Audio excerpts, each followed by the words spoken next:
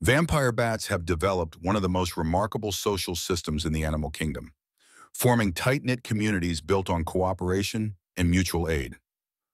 When a mother bat dies, other female bats in the colony will often adopt her orphaned pups, providing them with the care and nourishment needed for survival. These adoptions aren't limited to relatives, as vampire bats will sometimes take in orphans with no genetic relation, demonstrating that their altruism extends beyond family bonds. What makes Vampire Bat Society truly extraordinary is their food-sharing behavior, which helps colony members survive when they can't find food on their own. After successful feeding trips, vampire bats will regurgitate some of their blood meal to share with hungry colony members who weren't able to feed that night. This food sharing isn't random. Vampire bats preferentially share with individuals who have previously shared with them, creating a sophisticated system of reciprocity.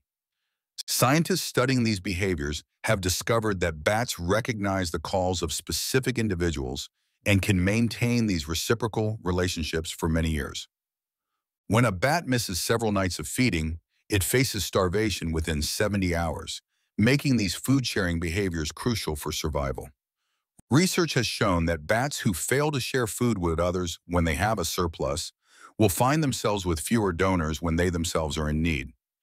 These remarkable social bonds among vampire bats demonstrate that cooperation and compassion can evolve even in species that are often misunderstood or feared.